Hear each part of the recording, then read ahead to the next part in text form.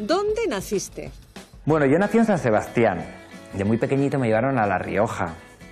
Luego me vine a estudiar Bellas Artes aquí a Bilbao y pues ya me he quedado aquí. ¿Y con quién vives? ¿Con alguien famoso quizá? Bueno, vivo solo. Vivo con Pantoja, que es mi perrita, es mi chihuahua.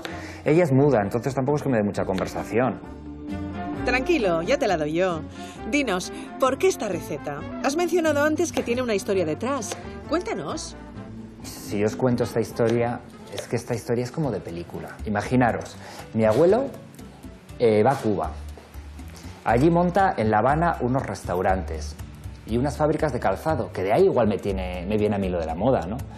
La mujer le entra cáncer y tiene que volver aquí. Cuando vuelve, pues mi abuela, que era la que le cuidaba, era la sirvienta, pues se murió la mujer. Imaginaros, mi abuela se lió con él. Y, y se llevaban casi 40 años de diferencia. Entonces, pues nos ha quedado lo más importante.